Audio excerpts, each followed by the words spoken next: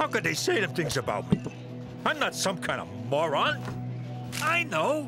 I'll pay the tickets. Jimmy will lend me the money. All right. He thinks I'm a bum. Maybe they're right. What good am I to anyone? Help!